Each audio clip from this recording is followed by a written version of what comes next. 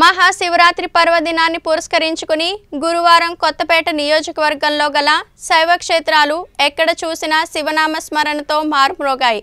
ప్రసిద్ధిగాంచిన స్వయంభూ క్షేత్రమైన పలివెల శ్రీ ఉమా కొప్పేశ్వర స్వామివారి దేవాలయం నందు తెల్లవారుజాము నుండే విశేష సంఖ్యలో భక్తులు ఆలయానికి తరలివచ్చి ప్రత్యేక పూజలు అభిషేకాలు నిర్వహించారు.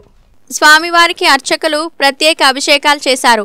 వేలాది సంఖ్యలో భక్తులు తరలి రావడంతో దేవస్థానం వారు ఏర్పాటు చేసిన ప్రత్యేక క్యూ లైన్ల ద్వారా స్వామివారిని దర్శించుకున్నారు.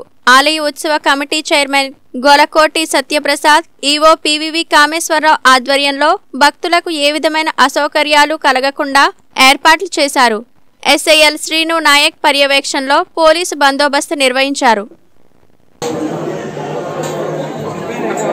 कोटिकोटिसहस्रेषु अश्वमे अजप्रसौ कोटिकन्याव एकबिम्बं शिवार्पणम्